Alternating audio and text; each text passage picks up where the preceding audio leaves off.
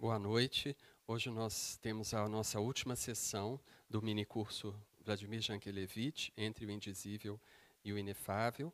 Boa noite a todos e a todas que estão aqui presentes e àqueles e aquelas que estão acompanhando online. É, nosso percurso será, é, como nós, vocês têm observado, partiu do indizível, do inexprimível, por uma é, esterilidade, por um vazio, e é, ele está concluindo com o que é inexprimível por um excesso, por uma fecundidade, que é o inefável. Nós vimos na semana passada o tema da graça, que também estaria nesse registro do inefável, e hoje a música, que talvez seja um exemplo maior do inefável na obra de Jankelevich. Embora nós já tenhamos mencionado os textos principais do autor eh, no campo da filosofia da música, já que hoje nós vamos tratar sobre a música, vale a pena retomar. Então, Jankelevich escreveu o primeiro texto sobre música foi dedicado às canções de Gabriel Fauré para canto e piano. Eh, vocês veem aí uma predominância de compositores franceses, eh, Ravel, Debussy e o Mistério.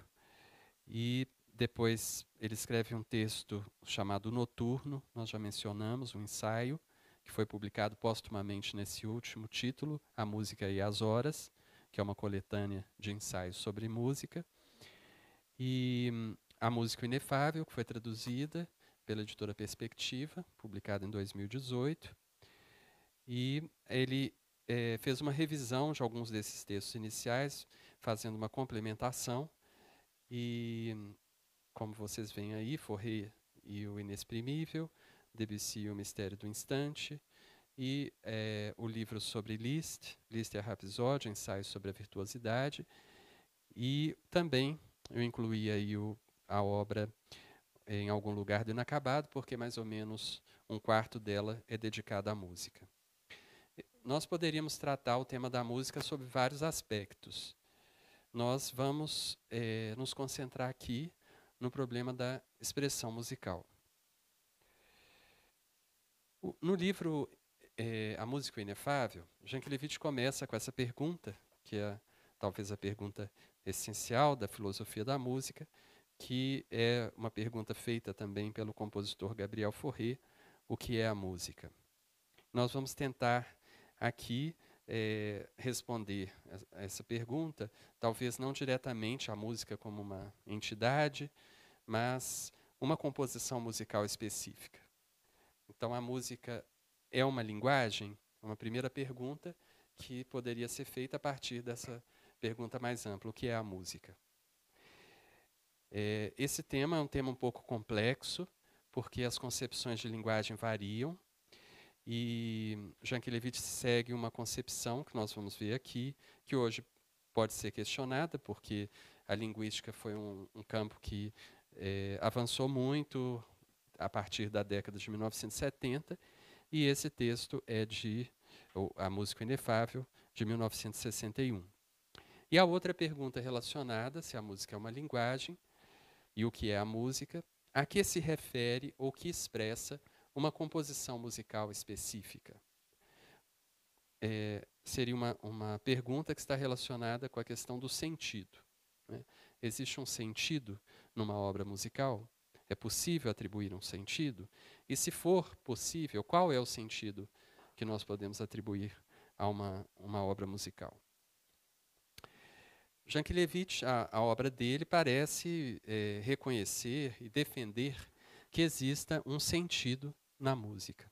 Reconhece um sentido.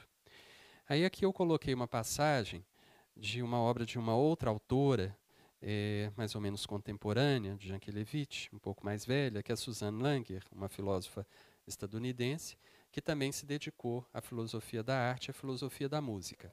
Então, no livro dela, Filosofia em Nova Chave, que é um, é um anterior à Música Inefável, de Jankelevich, é de 1942, ela faz um estudo também do que poderia ser o significado da música. E nesse livro ela diz que o campo da semântica é mais amplo do que o da linguagem, como certos filósofos, Schopenhauer, Cassirer, Delacroix, Dewey, Whitehead e alguns outros, descobriram, mas está bloqueado para nós pelos dois dogmas fundamentais da epistemologia atual, que acabamos de discutir. Os dogmas, principalmente, que ela diz da filosofia da linguagem, é, que estava aí, da filosofia analítica também, que estava em gestação nessa época. E esses dois dogmas seriam que a linguagem é o único meio de pensamento articulado, e aqui ela está pensando na linguagem verbal discursiva, e que tudo que não é pensamento falável é sensação. Ela discorda dessas duas hipóteses. Então, para ela existem outros modos, outros modos de articulação que eh, geram sentido, né, para além da linguagem discursiva. E para ela também seria possível uma, se conhecer e articular eh, ideias, concepções, através de outra via que não a, a linguagem discursiva. Jean Kelevich, apesar de não eh, tratar propriamente da a música como uma espécie de pensamento de concepção, ele está eh, de acordo com a Suzanne Langer, no sentido de que a linguagem não é o nosso único meio é, de formulação, talvez. Né? É, ele, ele pensa que também é, a, a experiência humana abarca outros tipos de é, expressão e expressões que são é, que envolvem formas complexas. Né? Tanto que ele vai dizer no livro a música, é, desculpa, em algum lugar de inacabado, que a música também tem a sua lógica. É interessante isso que apesar de ele valorizar tanto esse não sei quê, não é? algo do inapreensível, ele também reconhece que existem estruturas é, musicais, padrões que são organizados e, e, e que geram um, um, todo. E ele está. É, então, nós vemos que existe um ponto em comum com a Suzanne Langer e com esses autores que ela cita. Talvez nós pudéssemos colocar Jankelevich junto com esses autores, como Schopenhauer, que reconhece um sentido para nas obras artísticas, na, na música, é, e também a ideia de que nós somos mais do que é, o que nós podemos dizer. É, aquela ideia que é, é que se encontra no Tractatus Lógico-Filosóficos de Wittgenstein, que os limites do nosso mundo são demarcados pelos limites da linguagem, né? Tanto a Suzanne Langer quanto o Jankelevich não estariam de acordo com isso.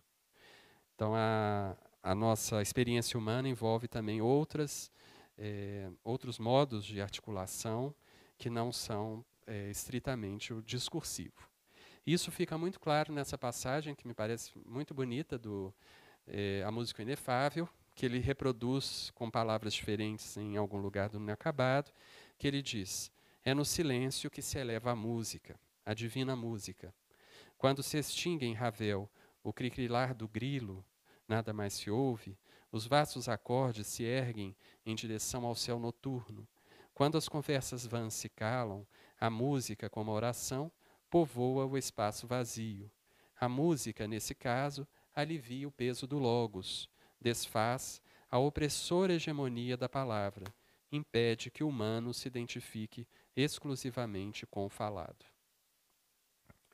Então, nós percebemos que a experiência humana é mais ampla do que os limites da, da linguagem discursiva ou da linguagem demonstrativa. E nós, é, Jean Kelevich deixa muito claro no início do livro que a nossa cultura, é, de algum modo, enfatizou muito esse registro do logos demonstrativo e deixou um pouco de lado o registro do melos, que seria o registro da melodia, né, da poesia e de algo que fugiria a, aos pré-requisitos da lógica, do princípio da não contradição. E, e nós vimos no encontro passado como ele também resgata essa dimensão musical, o, o é, algo de positivo na, na música, através do conceito do encanto, do charme.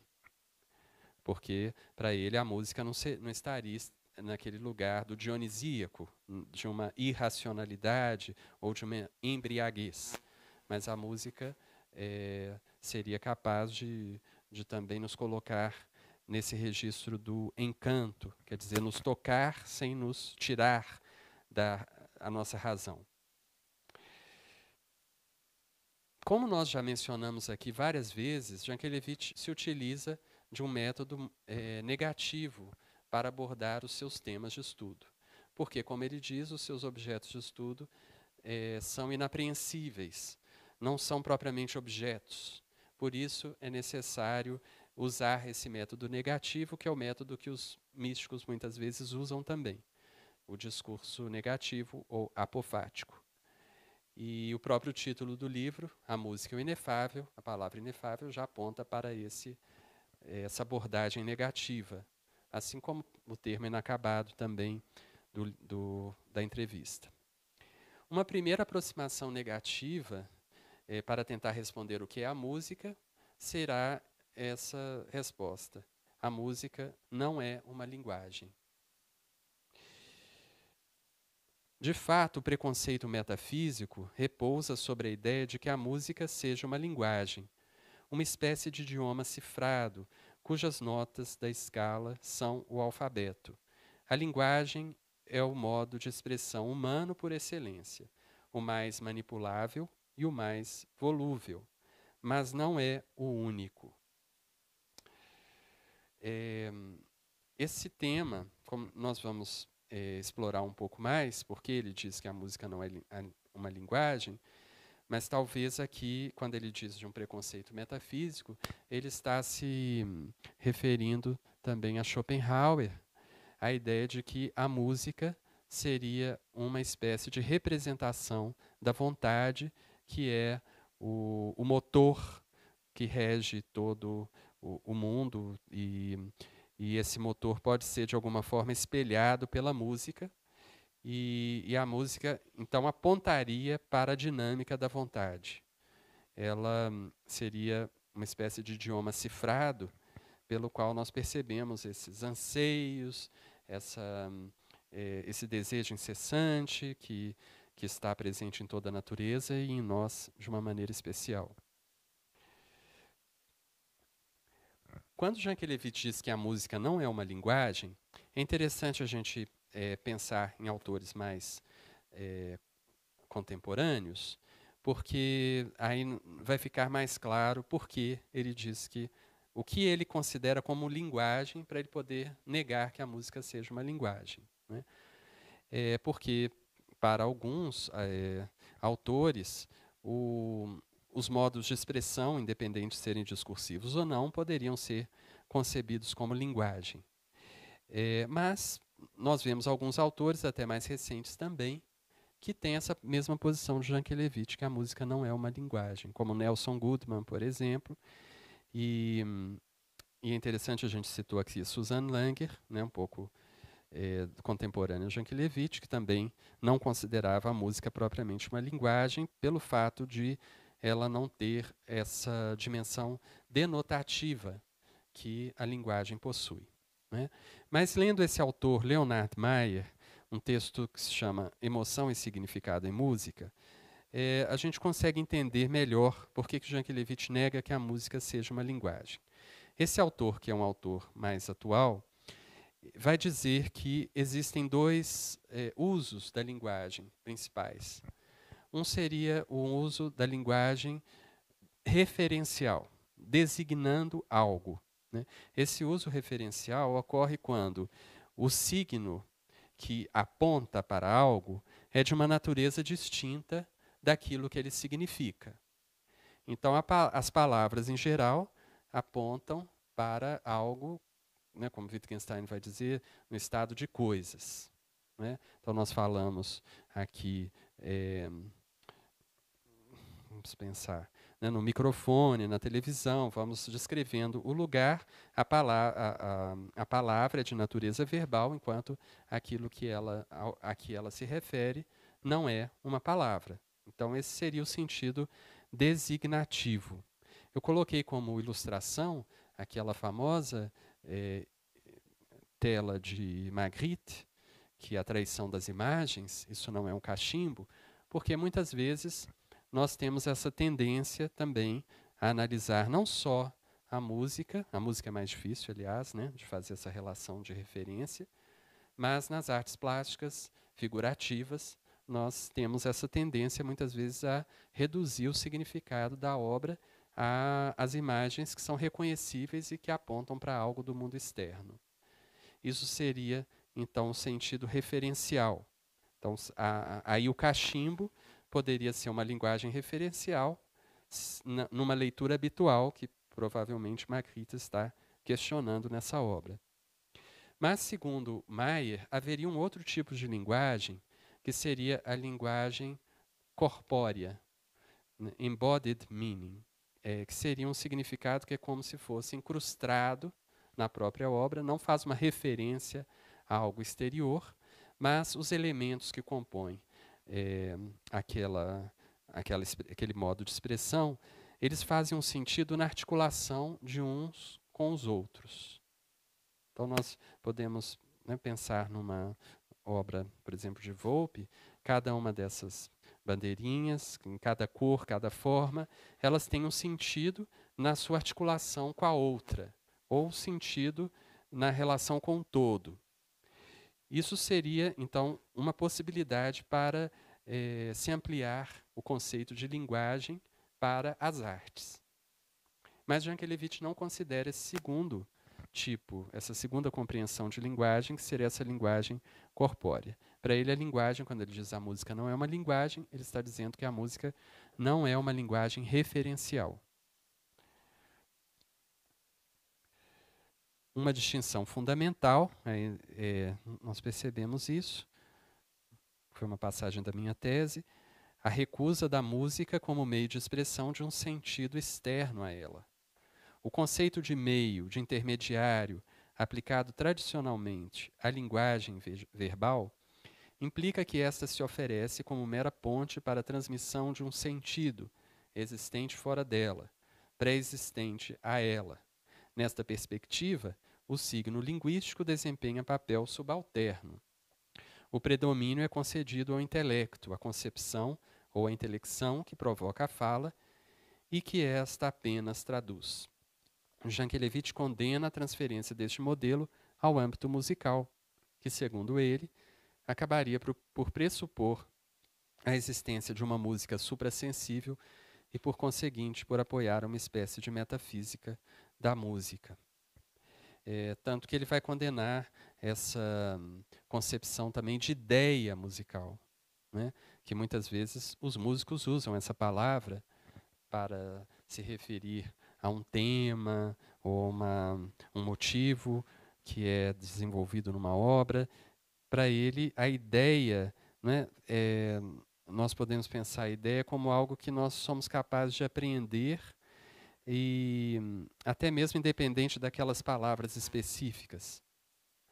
Então, por outras palavras, ou por uma intuição que não precisa de tantas palavras, né?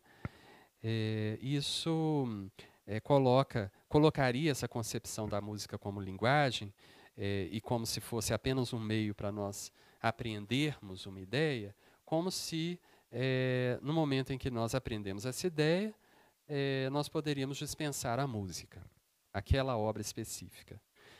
Aí a gente poderia aplicar aquela famosa metáfora que Wittgenstein usa também no Tractatus da, da escada. Depois de nós é, atingirmos, chegarmos àquele lugar, nós podemos jogar fora a escada.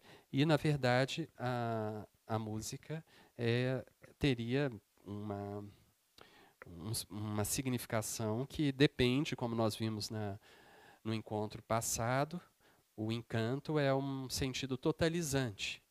Não está num lugar específico, mas está no todo. E nós não conseguimos é, aquele, aquela mesma atmosfera em outra é, articulação de notas. Nós vimos o caso da, das duas é, versões do, da viola quebrada, a versão erudita do Camargo Guarnieri e a outra versão é, do Pena Branca e Chavantinho.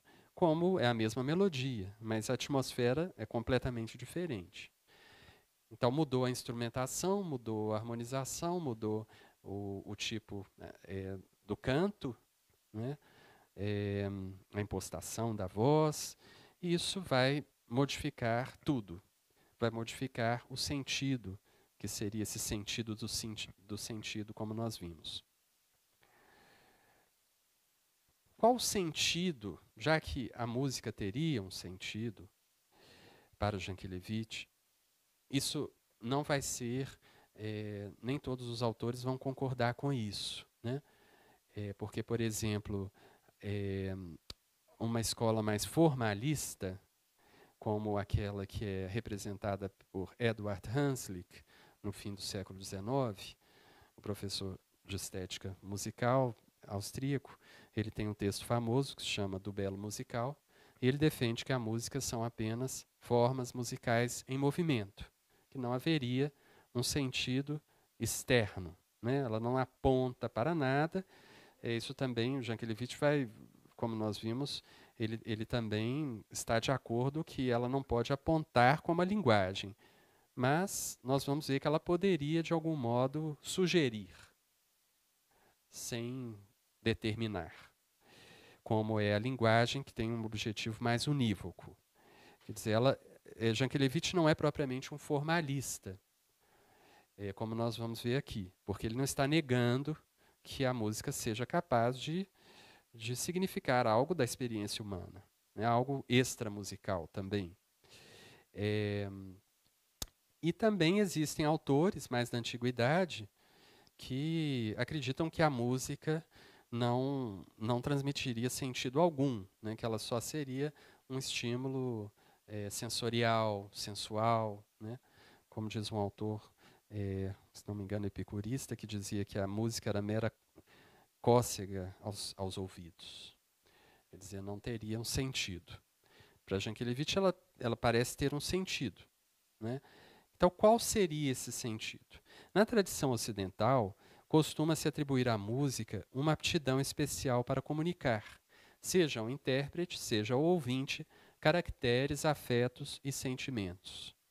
Assim, o sentido estaria ligado à dimensão expressiva da música. Essas palavras, cada uma tem seus matizes e são utilizadas em épocas diferentes. Então, na tradição grega se usa o termo ethos, na, Platão usa em relação à música, cada modo musical tem o seu ethos, que seria um caráter, né, como se fosse um caráter típico, né, que é característico a determinado grupo, é, a coragem relacionada a, ao guerreiro, por exemplo, e não é a coragem de alguém específico, né, é algo mais é, relacionado a um grupo. Enquanto os afetos estão presentes na, no Barroco, essa ideia da teoria dos afetos, e os sentimentos, já final do século XVIII e século XIX, essa concepção da música como expressão de sentimentos e muitas vezes os sentimentos do próprio compositor. Há uma ideia de autoexpressão que vai ser muito difundida no romantismo. É, isso, e hoje eu acho que ainda o senso comum ainda tem muito essa ideia de que a música seria capaz de comunicar sentimentos e transmitir também ao seu ouvinte. Então, o sentido estaria ligado a essa dimensão expressiva. Mas, eventualmente, também atribuída à música a capacidade de retratar cenas, narrativas e sonoridade dos mundos do, do mundo dos fenômenos, que é a chamada música descritiva. A música também de programa, que é, por exemplo, um poema sinfônico, Dom Juan, de Richard Strauss, que é a Sinfonia Alpina, que retrata algumas cenas. É, e muitas vezes aí nós teríamos elementos é, da natureza, se nós nos lembrarmos da Sinfonia Pastoral de Beethoven, né, que retrata o som do riacho, a tempestade, os, os pássaros, algo do, do mundo exterior. É interessante que, é, geralmente, nós usamos o termo expressar, em português, para algo que é interno né, e que é comunicado. Né, que tem a ver até com a etimologia da palavra exprimir, quer dizer, tirar, é, pressionar para fora, né? igual espremer uma fruta, ela tem o seu sumo. Né? Em português, é, nós temos duas palavras diferentes, né? porque espremer é com S e exprimir com X. Mas o exprimir da fruta também, originalmente no latim, era com X. Então é a mesma ideia de que nós temos um conteúdo interno que é retirado. Por isso se aplica mais aos sentimentos e também às ideias, porque as ideias, na nossa concepção, estariam internas, né? E elas é, nós formulamos internamente, depois nós expressamos. Nós não usamos a palavra expressar para expressar é, um, uma história, expressar uma, é, uma cena, nós usamos narrar, né? é, contar, mas não usamos expressar quando é algo exterior. Então, essa, isso seria, em geral, que, o que se costuma pensar que a música seria capaz de comunicar é, para aquele que não é um formalista radical. Né? Porque para o formalista radical ela não expressaria, ela não comunicaria nada extramusical. Jankelevich, então, defende certa vocação musical que vai ter, a ver, vai ter relação com essa questão da, do que ela é capaz de comunicar. Tanto pela sua diferença em relação ao discurso lógico demonstrativo, quanto pela sua inaptidão para representar de modo preciso, preciso cenas, paisagens e afetos, a música se prestaria especialmente a sugerir, evocar e aludir. Quer dizer, a música não estaria tanto no campo da representação, porque nós sabemos que a representação na música, né, os, os autores, é, principalmente aí no século XVIII, XIX, é, questionam e, e, vão. Nós vemos na história da estética essa passagem né, de uma estética da representação, né, pelo menos muitos autores leem assim, que seria da antiguidade para uma estética da expressão a partir de meados do século XVIII. E na antiguidade é, se pensava que a música também representava algo, né? e representava justamente esses caracteres. Ela, te, ela seria também uma arte, parte da música, né, como diz Aristóteles na poética, parte da música também é mimética. Ela também tem um caráter representativo. É, e ela representaria o quê? Esses conteúdos anímicos. A coragem, a indolência, é, a melancolia, a alegria. É, elas, isso seria uma representação para a concepção grega. Na concepção moderna, nós não pensamos na, no tratamento musical desses conteúdos como representação, nós pensamos mais como expressão. É, e eu acho que isso até hoje né, ainda soa um pouco estranho falar em representação na música. Né? Isso a gente vê Schopenhauer, que trabalhou tanto a música, ele deixa isso claro, né? tanto a arquitetura quanto a música, a primeira arte, a arte mais a inferior e a arte superior, que é a música, é, seriam, não seriam representativas. É, Agora, Jankelevich pensa, apesar dela não representar também para Jankelevich, mas ela ainda é capaz de sugerir algo, é capaz de evocar ou aludir. é interessante que esses, esses verbos estão muito ligados à poética simbolista. Como nós dissemos aqui no início do, do nosso minicurso, é, a filosofia de Jankelevich tem algo de uma poética também. E essa poética está muito em sintonia com simbolismo. É, se nós nos lembrarmos aqui do famoso poema de Verlaine, que é a, uma espécie de manifesto do simbolismo, que é, a, antes de tudo, a música, de la musique avant toute chose, nesse poema, tradução aí do Augusto de Campos, ele começa com a, colocando a música como um modelo um modelo para a poesia. Isso Schopenhauer talvez tenha influenciado as gerações seguintes com a sua elevação da música sobre as outras artes. E é, depois Walter Pater vai dizer que todas as artes aspiram constantemente à condição de música. E vários artistas de outras áreas também vão é, colocar a música como é, uma espécie de modelo. Então, nós vemos aqui no simbolismo é, a imagem anterior que nós vimos do Whistler, né, que tem vários noturnos. O Whistler também tem os noturno musical como referência para sua pintura. Depois, já no início do século XX, Kandinsky também vai ter a música como referência.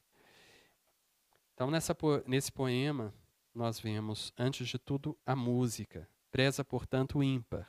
Só cabe usar o que é mais vago e solúvel no ar, sem nada em si que pousa ou que pesa. Pesar palavras será preciso, mas com certo desdém pela pinça. Nada melhor do que a canção cinza, onde o indeciso se une ao preciso. E nas duas últimas estrofes, música ainda e eternamente, que teu verso seja o voo alto que se desprende da alma no salto, para outros céus e para outra mente. Que teu verso seja aventura, esparsa ao ar de guarda manhã, que enche de aroma ótimo e hortelã, e todo o resto é literatura. É interessante nesse poema, para nós fazermos a relação com Jankelevich, essa, o que, que seria a música como modelo para o poeta? Seria justamente fugir de uma de um tipo de linguagem mais precisa, mais unívoca. Seria tentar uma linguagem que lide com outros elementos sonoros, que tenha algo do vago, quer dizer, que tenha uma significação que deixa zonas de subentendidos, uma significação que que, que não seja precisa. Então, juntar o, o preciso ao impreciso.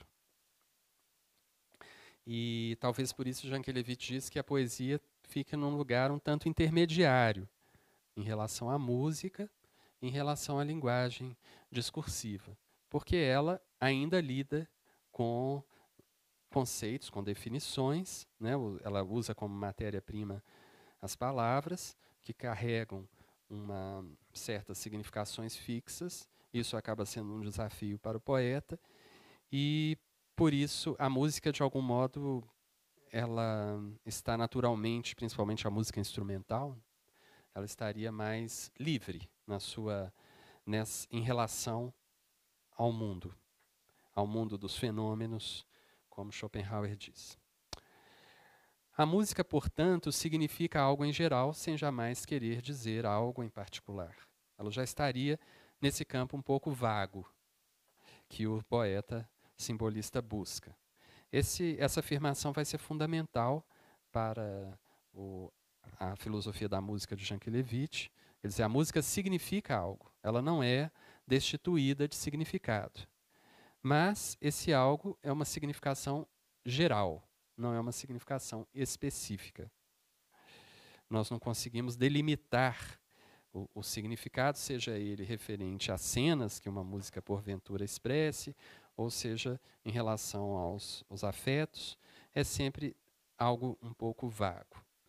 E ele usa essa é, expressão que nós poderíamos reconhecer como um oximoro que eh, os místicos também usam muito essas expressões que são compostas de dois termos opostos, como, por exemplo, a escuridão luminosa, em Gregório de Nissa, em Pseudo Dionísio Areopagita, a sobra embriaguez, que Gregório de Nissa usa também, é, São João da Cruz se refere à música calada, é, e, e Jankelevich vai criar esse oximoro para se referir à expressão musical.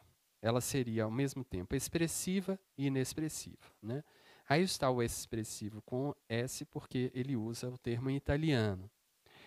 E que muitas vezes aparecem indicações de, de partituras, como se fosse uma indicação para como a música deve ser interpretada, com comoção, com envolvimento do intérprete. É uma palavra um tanto vaga também, porque o expressivo poderia ser expressão de várias coisas. Né? É, mas então ele vai explicar por que, que ele, ele usa esse, essa expressão um tanto paradoxal, expressivo e inexpressivo. Diretamente em si, a música nada significa, senão por associação ou convenção. A música nada significa, portanto, tudo significa. Esse nada significa, então, seria o inexpressivo. Ela é inexpressiva, de, ela não expressa algo em particular. Não é um significado é, determinado. Por outro lado, a música é inexpressiva, não porque nada exprima, mas porque exprime esta ou aquela, mas porque não exprime esta ou aquela paisagem privilegiada, este ou aquele cenário à exclusão de todos os outros, a música é inexpressiva no momento em que implica inumeráveis possibilidades de interpretação, entre as quais nos permite escolher. Aí nós já entramos com o expressivo, quer dizer, ao mesmo tempo que ela não expressa nada de particular, pelo fato dela não expressar nada de particular, ela se abre a múltiplas possibilidades. Né? Então, esse é um, um ponto que Outros autores já tinham reconhecido, desde Baumgarten, no início da, da estética filosófica, no século XVIII, ele falando da poesia, que a, uma linguagem mais precisa acaba perdendo nessa abertura. Né? É, como nós já tínhamos mencionado no início aqui do nosso curso, é, Jankelevich tem em mente muitos compositores é, românticos, franceses também, impressionistas, e os compositores nacionalistas do, da primeira metade do século XX. Aí, algumas pessoas, né, até eu estive num encontro em Uberaba em setembro, e um professor de lá questionou né, como que se aplicaria essa ideia para, é, por exemplo, a música barroca, que lida com é, a teoria dos afetos, né, que entrariam certas convenções relacionadas a, a certos gestos musicais né, que estariam associados a determinados afetos. E esse é um, um, ponto realmente problemático, porque ele não trata sobre esse repertório, mas eu acredito que, que nós, nós podemos, talvez, afirmar que, mesmo as peças, numa época em que os ouvintes dominavam esses, essas associações de alguns gestos musicais a determinados afetos, que a música não era, sempre haveria algo que não, que não poderia ser completamente aprisionado num significado preciso, né? Aquela ideia também, você que estuda Lacan do objeto A, não é? Que não que há algo, um resto que não pode ser aprisionado. Quer dizer, por mais que se tente, é, associar e que aqueles ouvintes tenham essas, esse repertório de, de associações, ficaria algo, é, um resto. Nós podemos pensar que na linguagem verbal isso também acontece, mas é, me parece, para Jankelevich, a música, é, por ela não estar fora dessa linguagem referencial, o resto seria maior, né? sempre é maior do que a linguagem discursiva. E então aparece essa pergunta: né, será, será o expressivo um pecado? Porque Jankelevich vai notar que muitos compositores do início do século XX, como Bela Bartok, Prokofiev, vão é, ter uma espécie de aversão à expressividade musical, né, que o próprio Stravinsky diz que a que a expressão nunca foi uma propriedade imanente da música, porque essa expressão estaria muito ligada ao apaixonato romântico, nessa expressão da, da autoexpressão do, do compositor. E isso, então, é, o expressivo foi muitas vezes rechaçado por esses compositores que buscaram algo mais da ordem da violência, né? a sonata bárbara, é, os sons mais percutidos. Né? A sétima sonata para piano de Prokofiev, por exemplo, o Precipitato, a tocata de Prokofiev. É, mas Jankelevich vai dizer, mesmo essas obras, apesar delas não serem a expressão é, do romantismo, elas também têm uma violência, elas têm uma, é, algo mais aflitivo, que não deixa de ser alguma expressão. Então ele vai esclarecer que a música não é nenhuma linguagem, nem um instrumento para comunicar conceitos, nem um meio de expressão utilitário, pois nunca somos obrigados a cantar.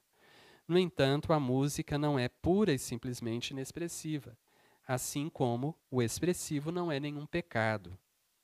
Seria a música impura menos musical que a música pura? De fato, a música expressiva só é musical à medida que nunca equivale à expressão unívoca e inambígua de um sentido. Quer dizer, não haveria problema na música ser expressiva, mas haveria problema na música querer ser expressiva como a linguagem é expressiva, né? é, delimitando um significado. Aqui eu coloquei um, o início da sonata Op 110 de Beethoven, porque tem o, justamente a, o termo expressivo, né? molto expressivo. E um outro nome para o expressivo e inexpressivo, nós já vimos essa passagem, mas nós podemos é, retomá-la agora. Nós mencionamos quando nós falamos sobre a morte. A música, dizia Debussy, é feita para o inexprimível. Sejamos, no entanto, mais precisos. O mistério que a música nos transmite não é o inexprimível esterilizante da morte, mas o inexprimível fecundo da vida, da liberdade, do amor. Dito em poucas palavras, o mistério musical não é indizível, mas inefável. É a noite negra da morte o indizível, porque é treva impenetrável e desesperante não ser, e também porque um muro intransponível nos obstrui o acesso a seu mistério. É indizível desse modo aquilo sobre o qual nada há a se dizer e que torna o homem mudo ao prostrar sua razão e ao petrificar seu discurso. E o indizível, exatamente ao contrário, é inexprimível, porque sobre ele há infinitamente, interminavelmente o que se dizer. É, nós vemos aí justamente esse, express, esse expressivo, que é a expressão de algo em geral, seria um expressivo ao infinito, né, algo que não se esgota.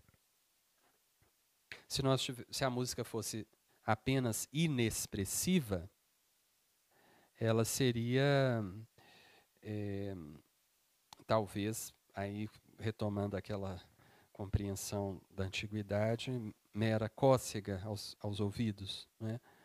É, e aí entraria aquela, aquilo que nós vimos no início da Susan Langer, né, como se fosse mera sensação, como se não fosse uma articulação é, complexa e, e, que carrega algum tipo de sentido. Aqui é para nós vermos como essa concepção de Jankelevich ainda está presente na nossa, na nossa época. Autores mais recentes. É, esse ponto, né, eu já observei que nem todos os autores concordam. Uma vez eu participei de uma banca de doutorado na PUC, na, no departamento de letras, e como os professores eram da área de, de letras, algum, uma professora não concordava muito com essa posição, que foi defendida pela doutoranda, e que acreditava que também na linguagem nós temos essa, esses, essas indefinições. Né?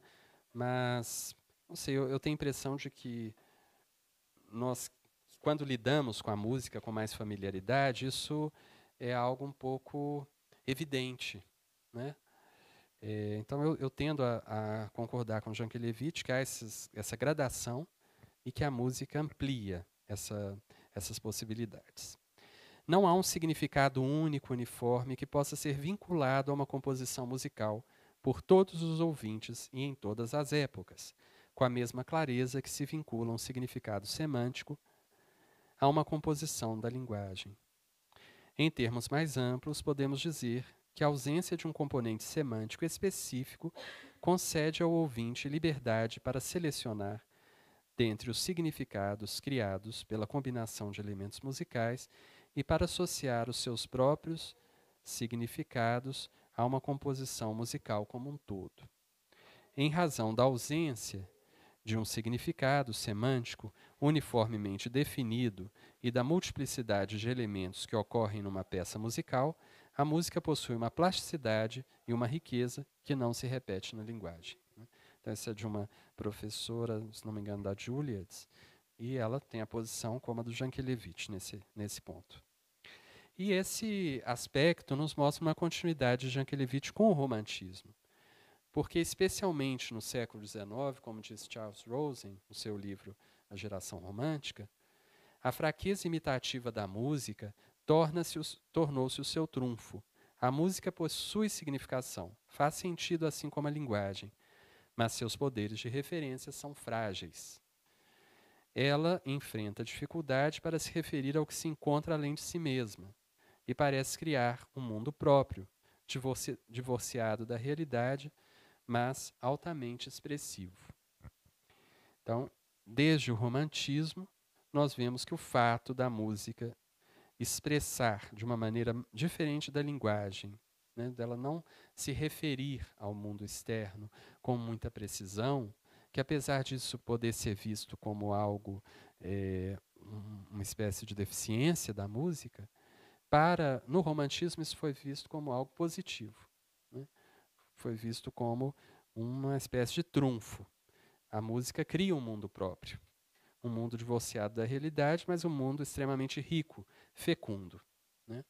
E isso coloca a música um pouco no lugar, no lugar do divino, nós podemos dizer. Né? Isso não é uma novidade no romantismo.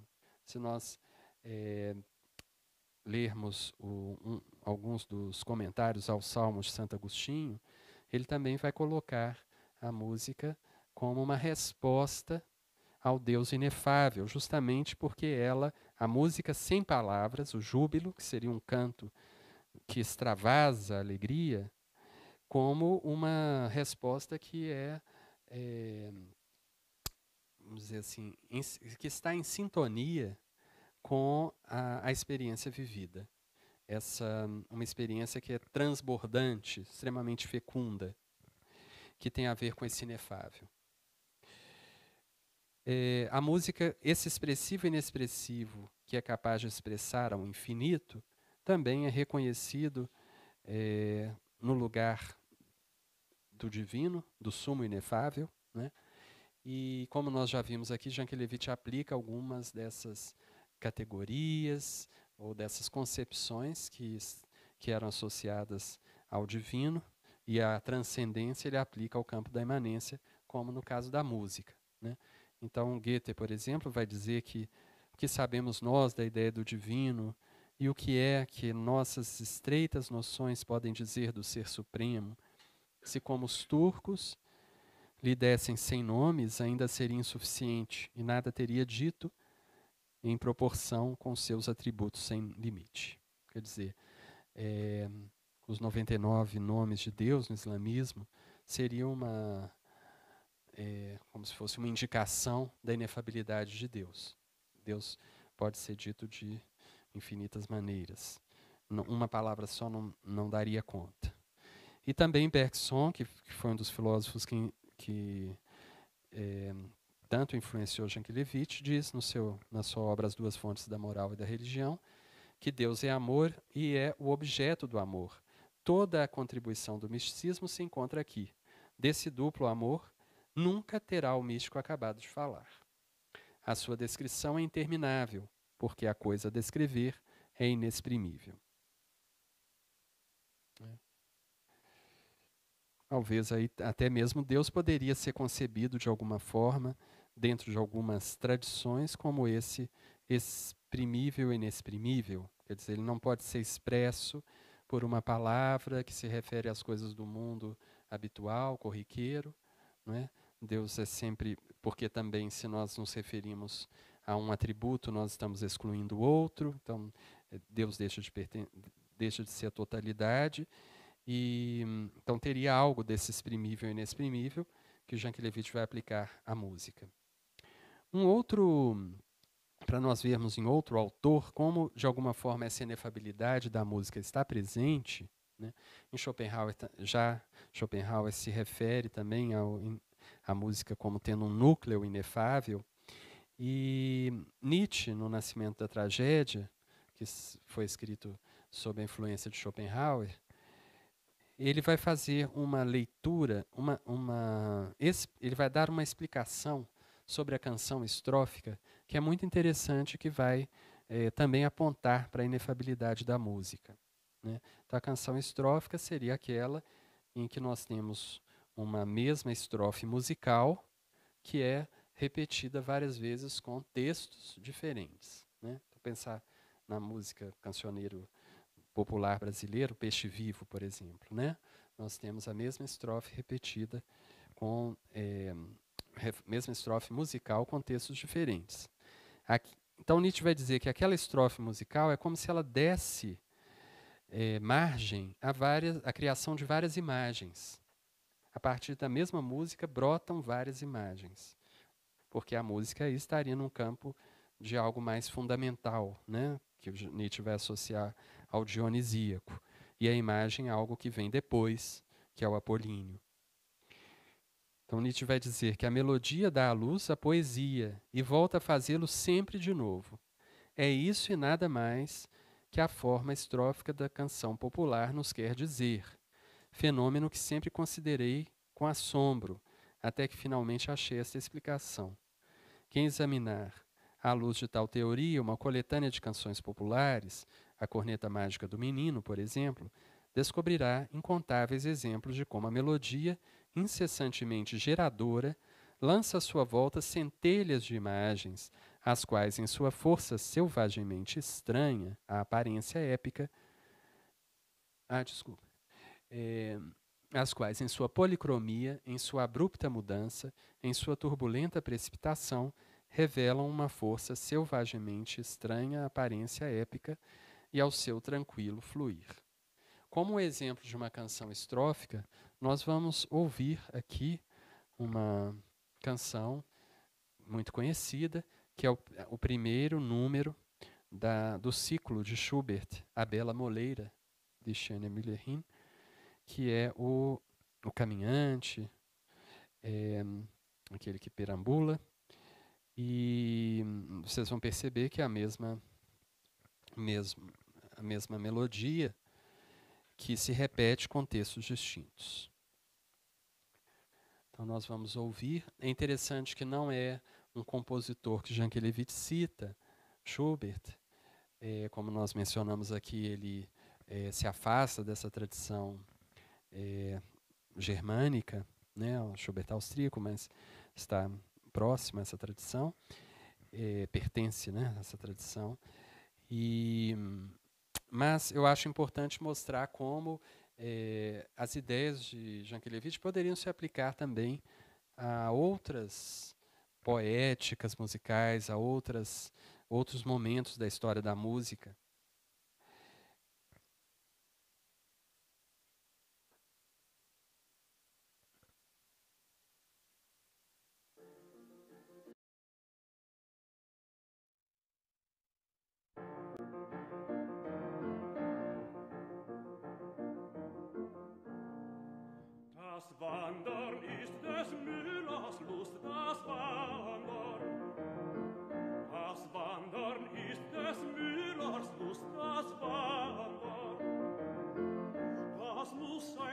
echter Müller sein, dem niemals fiel das Wort.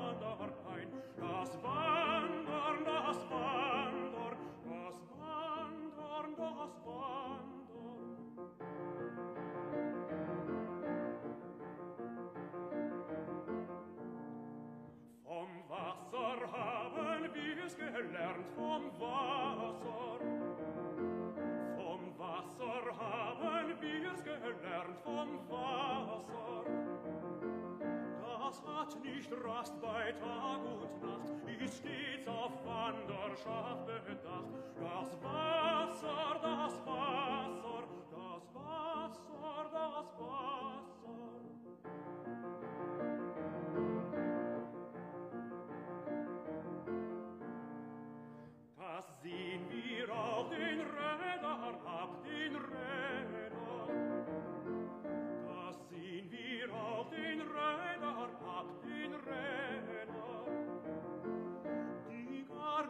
Sterne, Stille stehn, die sich mein Tag nicht müde drehn. Die Räder, die Räder, die Räder, die Räder.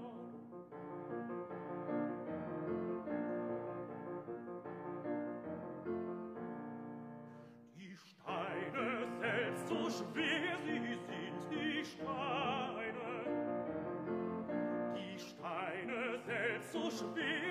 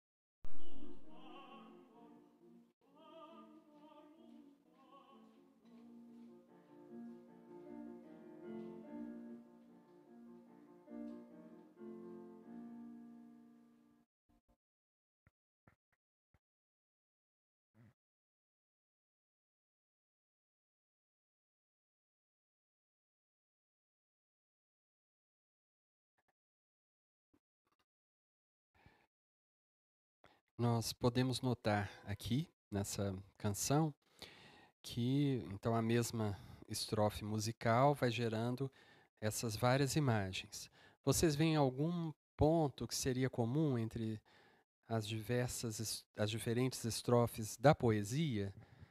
Existe alguma coisa talvez que a música teria ela daria margem a uma imagem a se criar uma imagem que é comum entre essas estrofes. Que parece que é um existe um, um denominador comum aí entre esses, essas diferentes estrofes do texto poético. Vocês reconhecem o que poderia ser?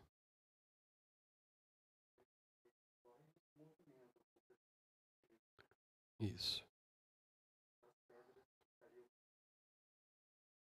Elas também se movimentam, não é? Apesar, elas dançam, então também teria um movimento, apesar delas serem mais pesadas, que até na interpretação é interessante que ele eh, ralenta um pouco para evocar esse, esse andamento mais lento das pedras. Mas então haveria esse, esse movimento que é comum, e, mas o movimento não teria um rosto. Quer dizer, ele, o movimento na música a gente poderia eh, sentir um movimento e poderia eh, dar diferentes rostos, né? de alguém caminhando, de ah, água correndo, né? ah, das rodas girando, das pedras, e mas nós não temos uma definição do que está rodando. E é interessante que Jankelevich vai dizer algo parecido, não em referência a essa peça, mas a uma peça de Debussy, que é um, um compositor mais próximo do que ele, eh, dos autores, dos compositores com os quais ele tem afinidade. Então, ele vai dizer que a música significa algo em geral, sem jamais querer dizer algo em particular. Mouvement. Nesta peça, das Images por piano, Debussy evoca o movimento de algo em geral, a pura essência indeterminada da mobilidade, não impedindo, se o que, se, se o que move é um maratonista ofegante, uma folha morta, levada pelo vento ou um peão girando sobre si. As tercinas rodopiantes expressam aqui o redemoinho abstrato. Isto é verdade não só quando a música comunica um sentido que pretende nos sugerir, mas ainda quando exprime uma emoção que tem êxito em nos inspirar. Quer dizer, para ele, tanto a, a comunicação ou né, a expressão de um, um sentimento ou emoção, quanto a comunicação de uma cena seriam indeterminadas na música. Né? É, e um outro ponto interessante também, aqui nós vimos, então, nós vimos o primeiro caso, que a música não comunica cenas específicas, seria o puro movimento sem ser o movimento de algo é, que nós podemos visualizar. E também no campo da, dos afetos. Ela expressa afetos também um tanto genéricos. Ele vai dizer que a expressão de um sentimento em Forré é tão indeterminada quanto é a descrição de uma paisagem de Debussy. Etienne Souriau foi o primeiro a descrever os assim chamados fenômenos de abstração sentimental, enquanto Raymond Baillet, por sua vez, fala de uma sensibilidade generalizante que visa as essências do sentimento. Tais são os sentimentos sempre um pouco genéricos, que cabe à música traduzir. Forré, por exemplo, intitula Alegresse uma peça breve, em Dó maior, cujos arpejos alados, voando de um extremo ao outro das teclas brancas, exprimem a alegria sem causa, a alegria indeterminada e motivada. Não menos vaga é a nostalgia que Forré, ao musicar Théophile Gautier, exprime na canção Tristesse. Em Scriabin, Desir é o título de uma peça que, exalando o langor, o ímpeto reprimido, a aspiração confusa, não se sabe o que, faz balbuciar os pressentimentos. Então vamos ouvir agora um dos exemplos, um desses exemplos que é a canção de Forré Tristesse, que seria uma tristeza também vaga.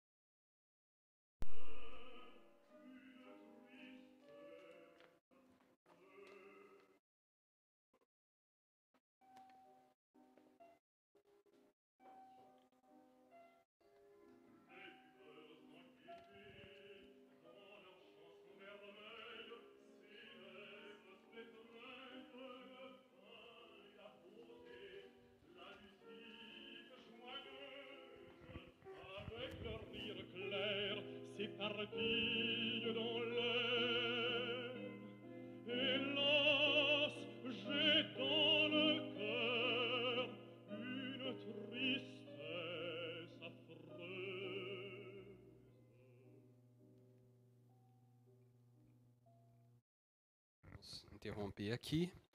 É, eu coloquei um outro exemplo que Jankelevich não menciona, mas é interessante é, nós lembrarmos desse exemplo, que é um exemplo clássico que é citado pelo Eduard Hanslick no seu texto do Belo Musical, que se refere a uma famosa área do, da ópera Orfeu e Eurídice de Gluck, que é a, área Eu Perdi Minha Eurídice. Né? Em italiano é Que farò senza Euridice, mas também tem a versão em francês, né? J'ai perdu mon Eurydice. É, na época em que a área de Orfeu eu perdi minha Eurídice, nada se iguala à minha infelicidade, comovi até as lágrimas milhares de pessoas, e entre elas homens como Rousseau, um contemporâneo de Gluck, Boyer, observou que essa melodia que a essa melodia se poderiam adaptar igualmente, muito mais corretamente, as palavras de sentido oposto. J'ai trouvé mon Eurydice rien n'égale mon bonheur. Né? Então, eu encontrei minha Eurídice, nada se iguala à minha felicidade. Quer dizer, a música seria tão indeterminada é, no seu sentido que caberia de modo indiferente os, os dois, né? É, os opostos aí, a alegria e a, e a extrema infelicidade.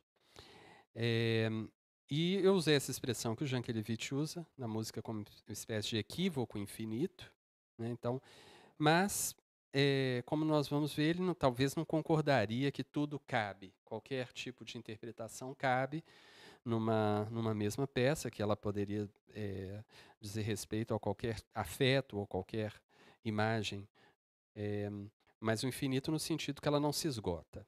Né? Então, a gente ouvindo aqui o, só o, o comecinho dessa, dessa área, eu encontrei uma versão que é como se fosse um karaokê, só a parte orquestral, então dá para a gente sentir um pouco, sem a influência da, do texto, que realmente a, a música é um pouco ambígua.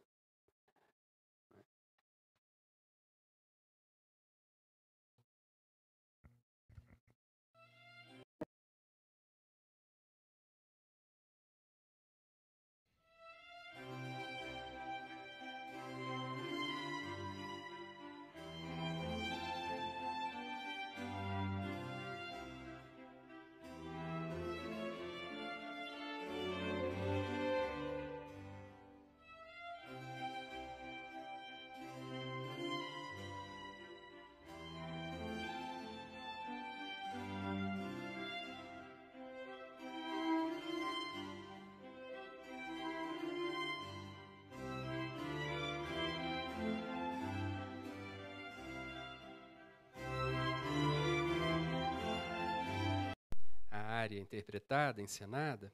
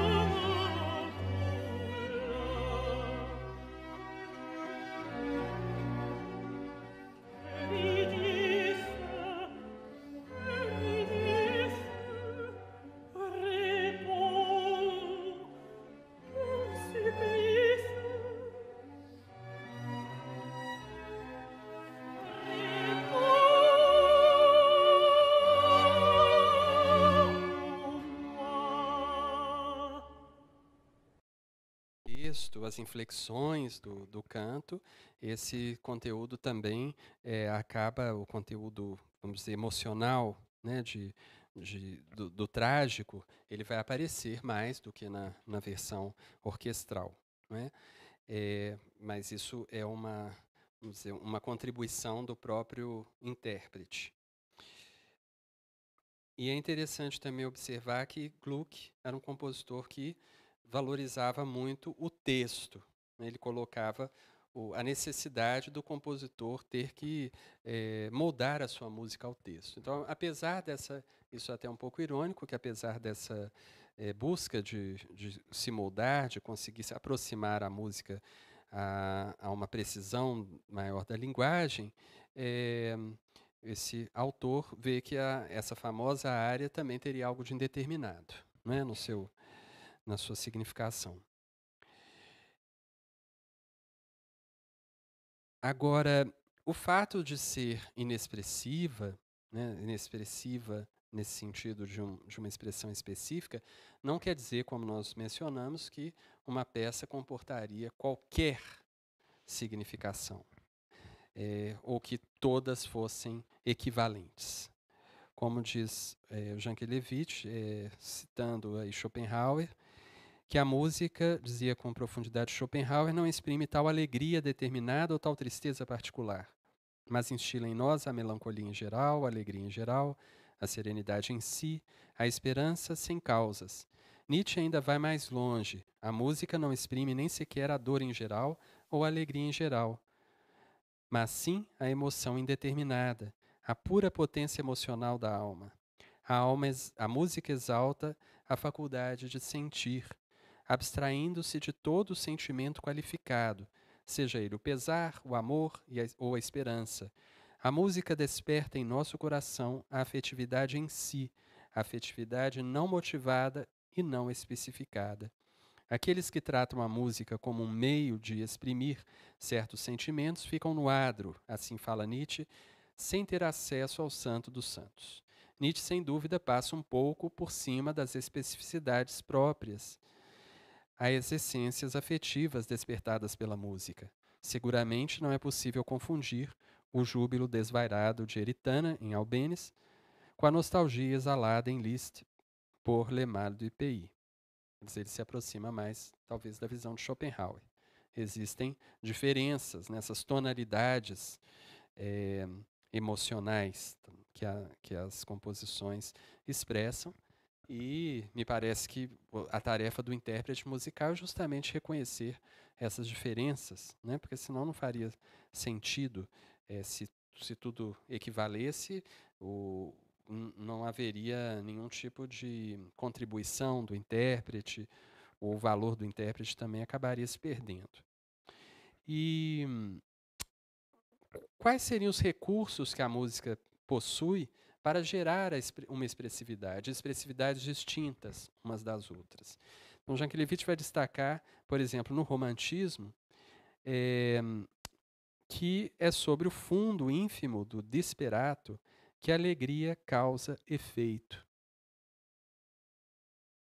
A expressão só é expressiva, como em Liszt, Chopin, Schumann e Tchaikovsky, graças à flutuação dos humores e alternância da tristeza elegíaca e da alegria, da depressão e da exaltação. O diurno e o noturno são correlatos. Quer dizer, a gente conseguiria perceber determinado afeto no momento em que há um contraste. Né? Então, nós percebemos algo mais do entusiasmo quando há uma passagem mais é, soturna, mais lúgubre. A gente pode colocar, eu esqueci de colocar no slide aqui, vamos voltar é, um exemplo disso na música romântica, que é o primeiro movimento, é o número 5, o primeiro movimento do Carnaval de Viena, de Schumann, para piano.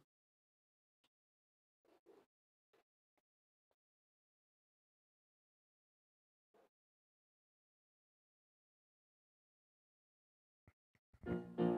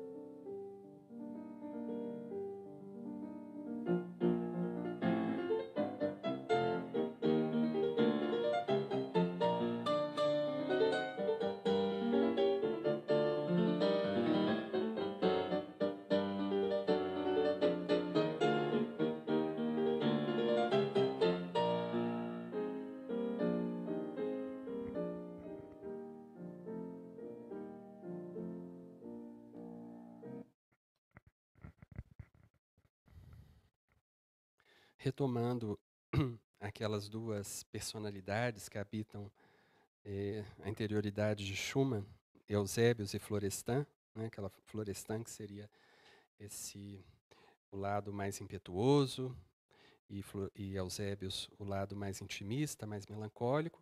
A gente pode dizer que nós reconhecemos o Eusébios pelo Florestan e vice-versa. Né? Isso aqui, isso que talvez Jankelevich esteja mostrando, é, nesses contrastes que a gente percebe as diferenças expressivas. Né?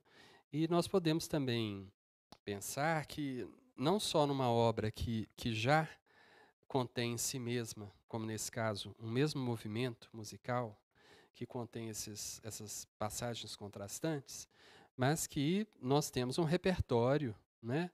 uma bagagem de obras que nós conhecemos. Então, quando nós ouvimos algo, nós também estamos comparando com outras obras eh, e com esses eh, afetos e que talvez são associados ou talvez são realmente têm algum ponto em comum com a estrutura das, das obras musicais. Né? Agora nós vamos ouvir um exemplo que também é muito interessante, que Jankelevich vai citar no livro dedicado a Forré, Forré o Inexprimível, que é uma canção, né, e a canção, é, como trabalha com uma relação entre texto e música, ela vai, que eu acho que a gente já tratou sobre isso no encontro passado, que existem várias maneiras de fazer essa relação entre texto e música. Não é? é nos diferentes momentos da história da música, nós encontramos certas soluções, né? É, de, por vezes, a música comentar algo do texto, um elemento recorrente do texto, como o, o Rei dos Elfos de Schubert, né? em que o piano é, simula aquela, aquele galopar, é, ou a Margarida na Roca, né? o, o a roca girando no piano. Então, um elemento que é utilizado como uma constante ao longo da obra. Há também outras estratégias de eh, se comentar algo do texto. Né? É, naquele momento em que se diz algo no texto, a música também se transforma, faz alguma alusão ao, ao que está sendo dito. Né?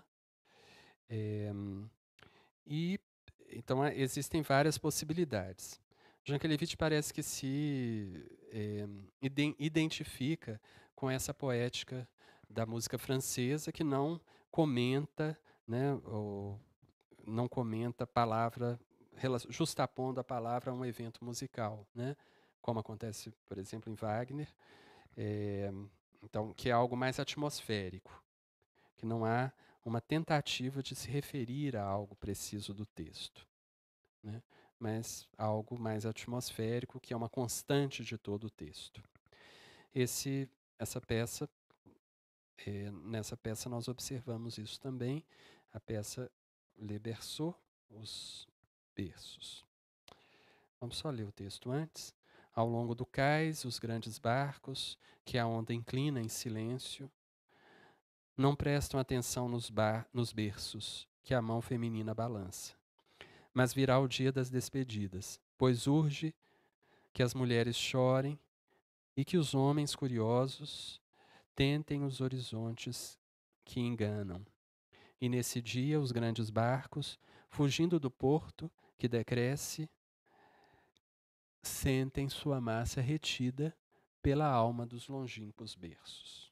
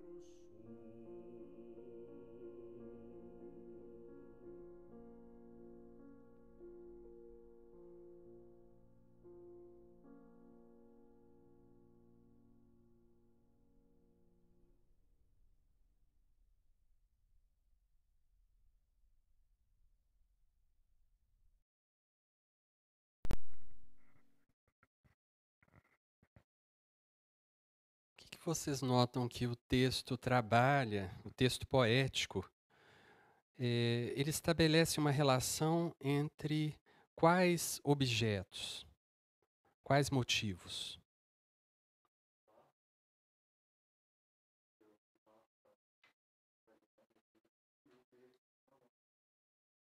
Isso. E é interessante que em francês existe essa semelhança sonora das duas palavras, né, berceau e vaisseau. É, então a gente associa, né, existe uma rima, existe mais do que uma rima, né, de, de uma semelhança sonora, e uma imagem, né, como você mencionou, uma imagem que é que é semelhante pelo pelo balanço, né? Nós também poderíamos até pensar na forma, né, é, côncava, que seria comum ao, aos barcos e aos berços, principalmente nessa época, também até o, o material, né, a madeira como um elemento comum. Então existe uma imagem que, que se assemelha. Né? Uma, no, dentro do texto poético, nós já vemos que, que cria uma certa ambiguidade, não vamos dizer uma ambiguidade, mas uma, uma semelhança, que se aproxima essas do, esses dois motivos. Né? Mas no caso da música, se nós não tivéssemos o, o texto, ou mesmo o contexto, é, o balanço, né, que talvez se aplique a mesma ideia do movimento, o balanço poderia ser tanto o balanço do barco quanto o balanço né, das ondas no mar, quanto o balanço do berço. Quer dizer, elas se fundem. Né? O berço e o, e o barco se fundem na música. Que na poesia, por mais semelhante que as duas sejam, é, elas não se fundem completamente, né? continuam duas palavras diferentes. Agora, na música, nós temos esse acompanhamento, que é parecido até com o que nós ouvimos no primeiro dia, o Bossuard de Debussy, porque nós também temos um compasso composto, né? 1, 2, 3, 4, 5, 6, 7, 8, 9, 10, 11, 12 e 1, né? que seria o compasso quaternário composto. Cada tempo é dividido em três. Pom, pom, pom, pom, pom, pom, pom. Né? Um, dois, três, quatro. Então, esse compasso composto tem a ver com. É, muitas vezes é, se utiliza o compasso composto para as barcarolas, né, que tentam evocar algo desse, dessas canções é, entoadas no, no barco, da, da on, das ondas, ou da própria Berceses, que seriam os acalantos. Né? que também muitas vezes são em compasso composto, como a ABC de Chopin, que é muito conhecida. E, então existe algo em comum nessa imagem que cria uma fusão que a gente não encontra nem na poesia e talvez também na, na percepção visual, quando a gente vê muitas imagens que trabalham com ambiguidades, nós é, conseguimos ver as duas possibilidades, mas para nós vermos uma, nós temos que cancelar a outra. Né? e que talvez aí na percepção musical a gente consegue fundir as duas. E aqui nós vemos mais uma vez uma afinidade de Jankelevich com uma poética específica, que é a poética do impressionismo musical.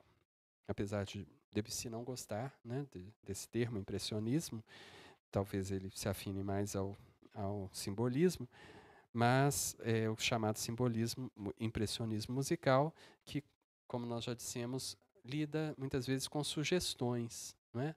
Então, os prelúdios de Debussy, eles não aparecem com um título no início da peça, mas vem no final da peça uma espécie de sugestão. Então, no final, como um quadro, né?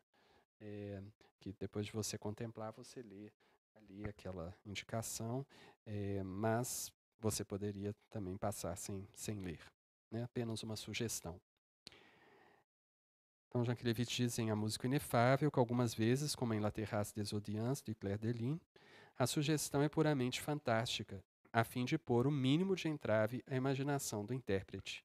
E ainda ocorre, tal é a anfibolia característica ao encanto de todos os encantos, que é a música, que o, o título seja involuntariamente ambíguo. Este é o caso de Voile, que é um dos prelúdios de Debussy, que sugere a oscilação de um barco à vela sobre a água, em certa medida, por suceder as dançarinas de Delfos, a ondulação de um véu no ar. Quer dizer, a palavra em francês, voile, poderia ser tanto véus quanto velas. E quem sabe Debussy não jogou com equívoco, esquivando-se de dissipá-lo. Quer dizer, talvez ele tenha brincado com isso, com essas duas possibilidades.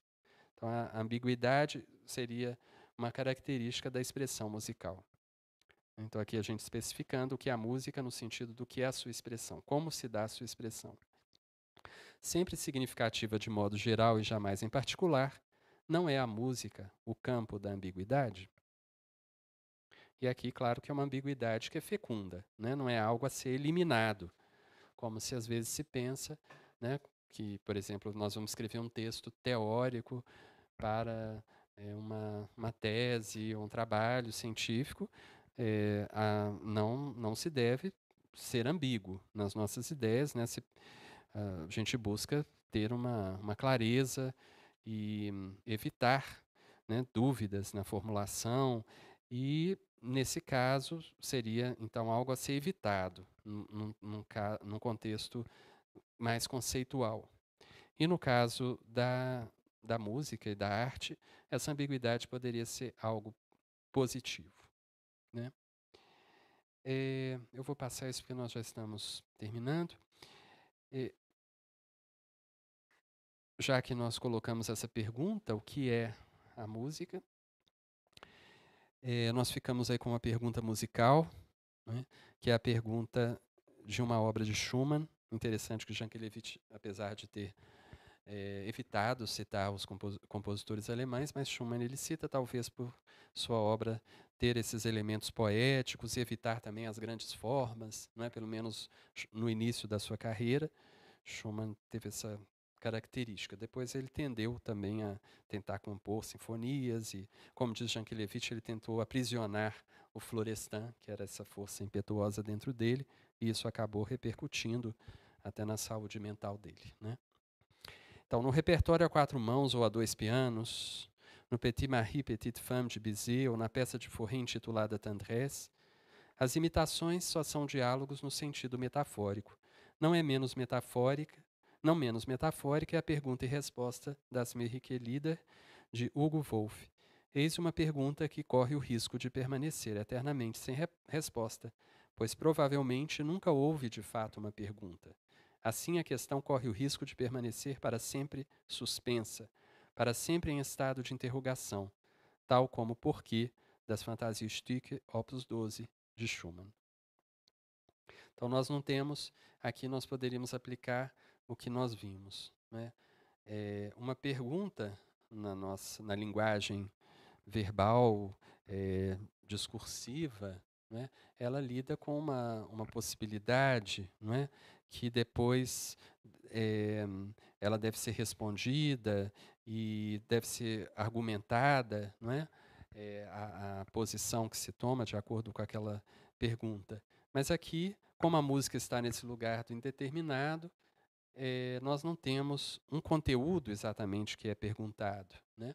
Nós temos apenas como se fosse uma é, entonação de uma pergunta que é simulada pela música e um pouco também aquela aquele momento que de uma certa é, um tormento porque nós não temos a resposta então isso gera né, esse tormento e e depois no, ela termina inconclusa. Né?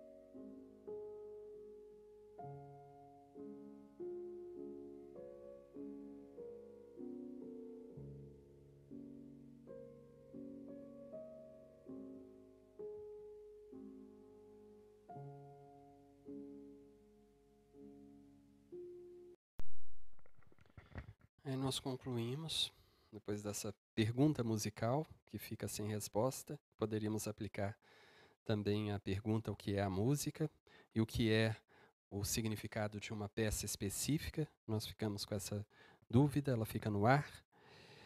Um poema de um poeta português, Eugênio de Andrade. A música é assim: pergunta, insiste na demorada interrogação sobre o amor, o mundo, a vida, não sabemos e nunca, nunca o, saber, o saberemos. Como se nada dissesse, vai afinal dizendo tudo. Interessante que os poetas, por vezes, sintetizam né, as, o que os filósofos tratam com tantos, tantas palavras, mas está aí o expressivo e inexpressivo, vai dizendo tudo sem dizer nada específico, né? ou nada que nós sejamos capazes de reconhecer de maneira determinada. Então, nós concluímos aqui, e quem está em casa, e já concluímos e deixamos um momento para perguntas dos que estão participando. Muito obrigado aos que estavam acompanhando em casa e eh, se vocês tiverem alguma dúvida também, perguntas, podem me escrever pro, para o e-mail. E então é isso. Muito obrigado.